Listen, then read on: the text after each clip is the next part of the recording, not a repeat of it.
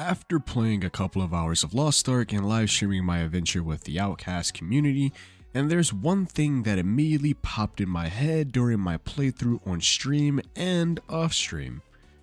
Is Lost Ark the Diablo MMO? For those of you who do not know this genre of gaming, I'll give you a brief explanation.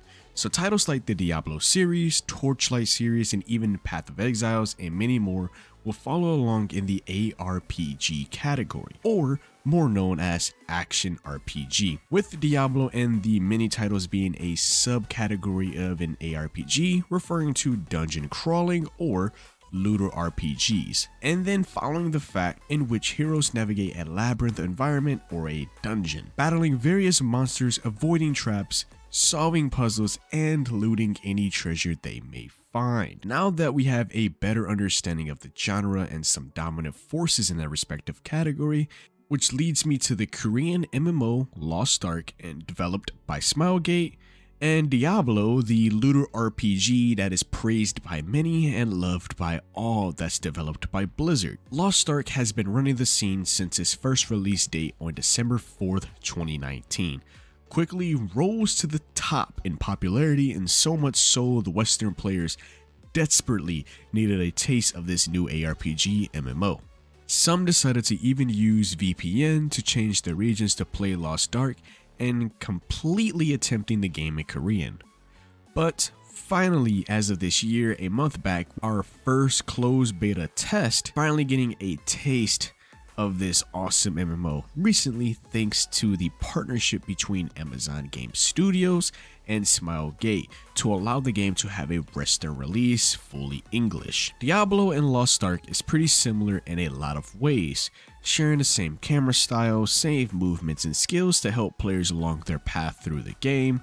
The whole core structure of the game feels remotely the same.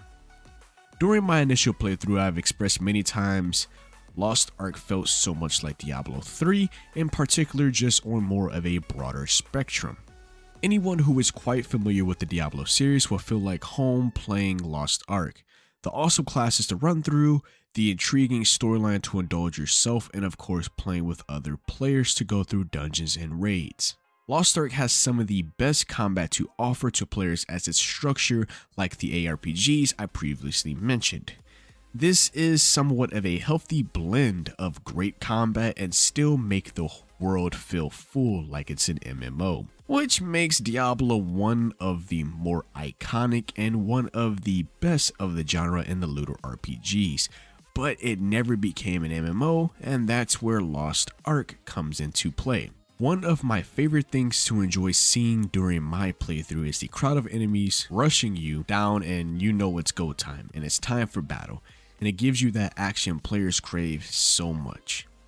My final thoughts on is Lost Ark the Diablo MMORPG is yes, in a way. They both share a lot of similarities and the combat and overall gameplay feels the same. Of course, both titles have much differences which makes them unique in their own way, and with the dark gruesome world of Diablo focusing on the war between heaven and hell, and the bright vibrant, cartoonish world of Lost Ark focusing on finding the lost Ark, no pun intended. Each class in both games are all unique and fun to play as, and they're plentiful of dungeons that are full in a MMO and with all the content in Diablo 3. With the constant dungeon raiding, they both have great potential to get players to spend lots of hours in time into the games. And now I do want to point out, I do not mean Smilegate is trying to take over or even copy Diablo or Blizzard or any of that. Just more so saying that the cartoonish, vibrant game of Lost Ark just feels so similar to Diablo. It feels like I am playing one of my favorite games that I used to play when I was younger. A couple years back, definitely grinding throughout Diablo 3, and even further back when I used to play Diablo 2. Which leads me to ask the community do you think Lost Ark is a Diablo MMO? If so, then tell me why in the comment section below. I would love to talk to the Outcast community about this topic. So if you have any questions, feel free to ask. If you enjoyed the topic on today's episode, definitely hit the like button so the video can be shown to others and subscribe to the channel. I cover everything RPG related as well as tech videos focused for gamers. And as always, this has been your host, ChaosDTV, signing out.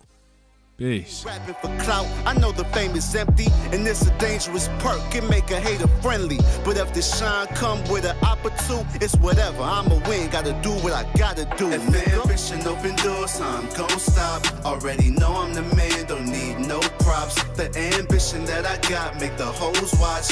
Ambition open doors, breaking those locks. If ambition open doors, I'm gon' quit. I fell in love with the money, fuck my old bitch.